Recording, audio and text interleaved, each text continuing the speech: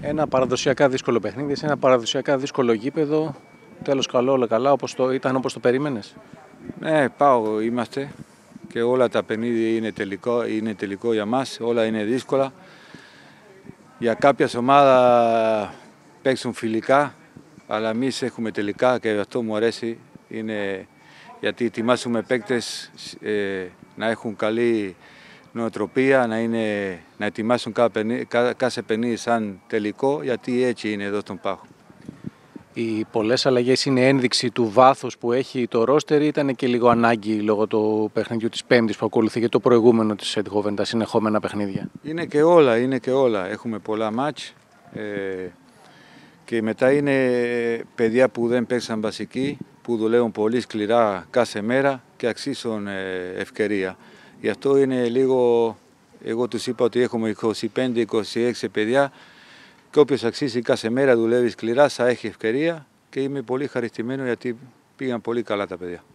Τι σου άρεσε και τι δεν σου άρεσε σήμερα από αυτά που είδες στον αγωνιστικό χώρο; Η πάντα όταν, ε, όταν κερδίσεις ε, ε, να βρεις, ε, πάντα έχουμε πρόβλημα, Κάποιο, πρέπει, πάντα πρέπει να βελτιώνει. Όταν χάνεις και όταν κερδίσεις πάντα έχει λεπτομέρειες, πρέπει, ε, πρέπει να δουλεύει κάθε μέρα. Ε, σίγουρα το, είναι δύσκολο παιχνίδι, αλλά είναι, όλα αυτά τα παιχνίδια είναι θέμα συγκέντρωση ε, και παιδιά που δεν παίξανε μεταξύ τους, ε, αλλά πιστεύω ότι εντάξει, μπορεί λίγο εγχωμένο στην αρχή, αλλά μετά ε, πατήσανε καλά και, και πιστεύω ότι πέσαμε καλά. Δεν, αλλά θέλει δουλειά, ε, όπως λέω πάντα.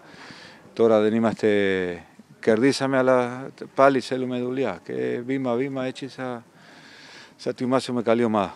Και την Πέμπτη είναι ο τελικός για, για την Ευρώπη, για, για την πρόκριση. Προλαβαίνει η ομάδα να είναι έτοιμη σε αυτό το παιχνίδι; Γι' αυτό δουλεύουμε, για να είμαστε όλοι έτοιμοι. Πιστεύω θα είμαστε καλά. Έχουμε ε, λίγος, λίγες μέρες για να δουλέψουμε. Ε, τώρα να πάνε με τις οικογένειες του.